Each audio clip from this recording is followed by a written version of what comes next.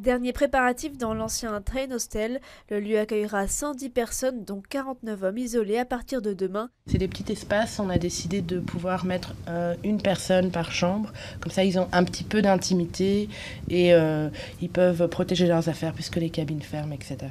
Soit la personne dort ici sur la banquette, soit elle peut euh, défaire la banquette comme ceci et la bloquer.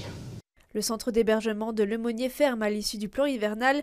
Il fonctionnait depuis un an comme centre d'accueil pour 100 personnes hébergées en famille.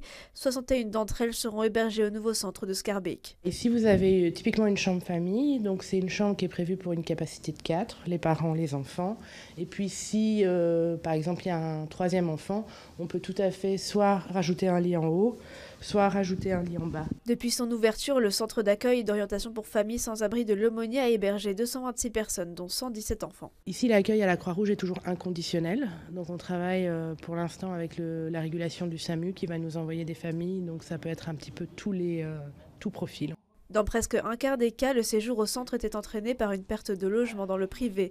Dans 6% des cas, il s'agissait de femmes victimes de violences conjugales. La majorité des personnes ne trouvaient plus de place dans une autre institution. Il y a la crise de l'accueil, euh, beaucoup pour les hommes isolés. Pour les familles, ça peut être euh, une perte de droits euh, parce qu'elles n'ont pas de papier, donc pas de revenus. Il y a beaucoup de familles qu'on arrive à réintégrer. Là, par exemple, sur les 28 familles qu'on a, on en a une dizaine qui repartent avec des solutions. Le nouveau centre fonctionnera avec un accompagnement social et psychosocial individuel. Il sera ouvert pendant un an, jusque fin mars 2024.